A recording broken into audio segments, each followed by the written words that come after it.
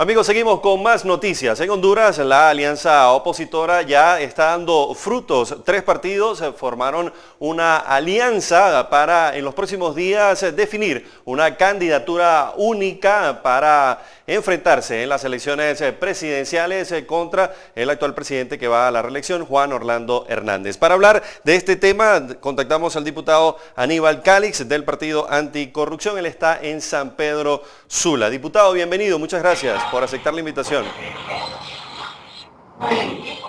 Diputado, ¿me escucha?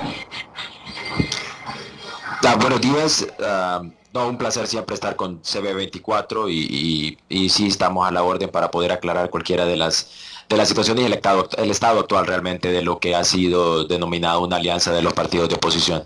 Diputado, ¿sabe que el Tribunal Supremo Electoral recientemente en su país ha, dado una especie de ultimátum a su partido para presentar la lista de candidatos a las elecciones regionales y esto parece que eh, podría haber entorpecido el inicio de este convenio, de este convenio de la alianza opositora. ¿Entregaron ustedes los recaudos? ¿Va el partido anticorrupción a las elecciones generales en su país? Bueno, primero sí aclararle a todos los, ah, los televidentes que el Partido Anticorrupción es, realizó sus procesos internos de acuerdo a lo que la ley marca. Desafortunadamente el Tribunal Supremo Electoral, en vez de ser un ente rector, tomó la determinación bien política de tratar de desestabilizar nuestro proceso. Ah, nuestro cronograma de actividades interno ya se había establecido junto con ellos, pero en el momento que el partido anunció que iba a ser partícipe de una alianza, en ese momento fue cuando comenzaron todos los problemas, uh, que es eh, básicamente el, objetivo principal es tratar de desestabilizar la conformación de esta alianza, que yo creo que al final no va a dar resultados ese, ese objetivo, o no va a tener, no van a lograr su objetivo, porque creo que ya nos hemos articulado de forma que tenemos varias opciones de, llegar a ser parte de la alianza y tomar el, gobierno en, nuestro país y de una manera u otra ya poder comenzar en una ruta definitivamente democrática y legal. Porque también quiero aclararles que esta es una situación no netamente político-partidaria, sino que es una situación de tratar de vencer la ilegalidad en la cual está nuestro país, ya que tenemos un presidente el cual está tratando de reelegirse a, pesar de que la constitución lo, prohíbe. Diputado, también eh, eh, tenemos información de esta negociación que durante el fin de semana pasado realizaron 13 partidos, ya han negociado también 13 puntos. Eh, ¿Puede hablarnos un poco de qué se trata esta, estos convenios, esta alianza que firmaron los partidos opositores?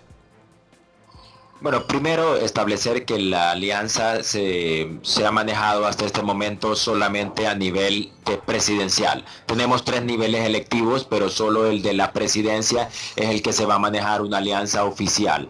Ah, después están, cada partido va a llevar sus diputados, cada partido va a llevar sus corporaciones municipales.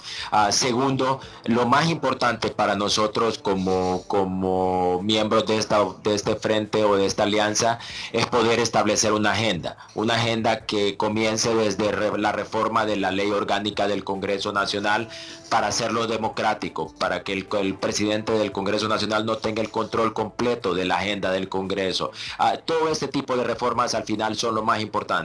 Y ya han discutido esa agenda, diputado. ¿Cuáles son los proyectos que van a beneficiar al país? Ya ustedes han adelantado, la oposición en su país tiene adelantado una agenda de cara a las elecciones.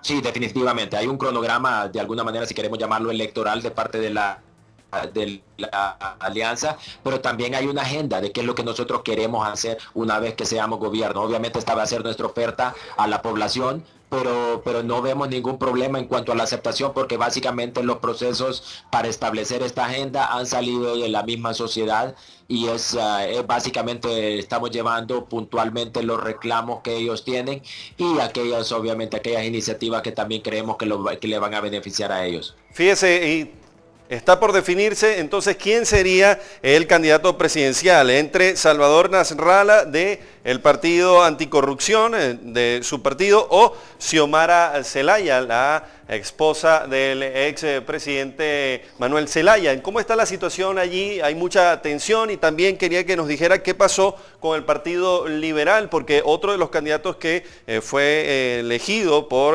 las bases en las primarias pasadas, Luis Zelaya, no aparece firmando ni él ni su partido esta, este convenio de la alianza opositora.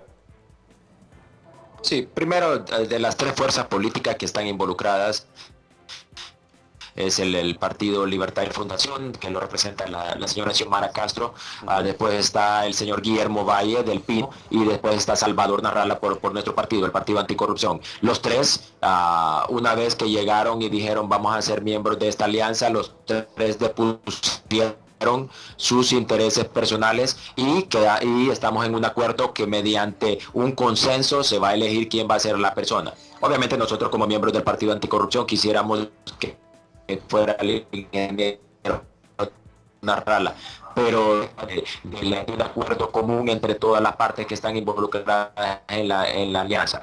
En cuanto al Partido Liberal, ellos tuvieron ayer su convención ah, en la cual aprobaron ser partícipes de una alianza, pero ah, bajo el condicionante de que tiene que ser tienen que ser ellos los que la lideren.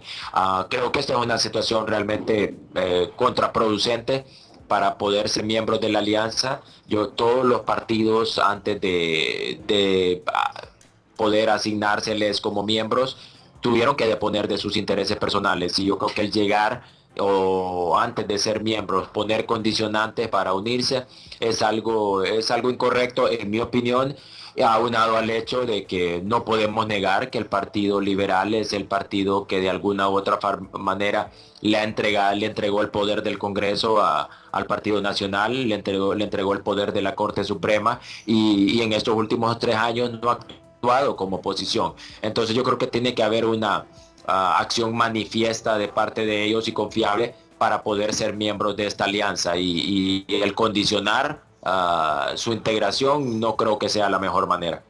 Bueno, muchas gracias, diputado. Vamos a estar bien pendientes también de, todo el acontecer en su país en, relación a esta definición de la candidatura única en las próximas horas. Muchas gracias. siempre es un placer para mí y estamos a la orden. Bueno, el diputado Aníbal Cáliz del Partido Anticorrupción desde San Pedro Sula en Honduras, conversando con nosotros sobre este análisis. Horas decisivas entonces en Honduras por la definición de un candidato único por parte de la oposición a las elecciones presidenciales próximas. Amigos, con esta información vamos a una pausa y enseguida regresamos con más de C24 Noticias.